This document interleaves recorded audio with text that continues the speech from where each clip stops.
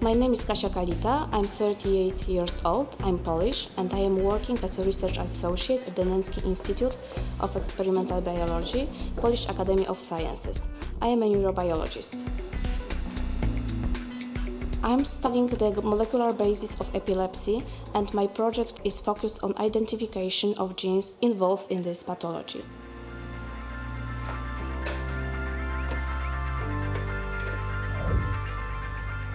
Uh, now I'm working on characterization of the protein and codes by those genes and try to understand their role in synapse remodeling.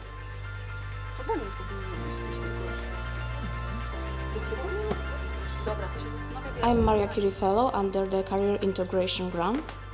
When I finished my uh, PhD in Warsaw, I moved uh, to United States for postdoctoral training.